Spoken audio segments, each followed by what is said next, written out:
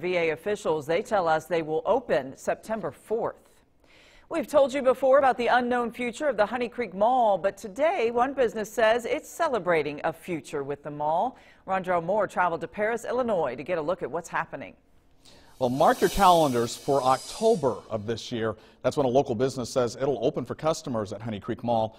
The news comes just months after two major stores announced their exit.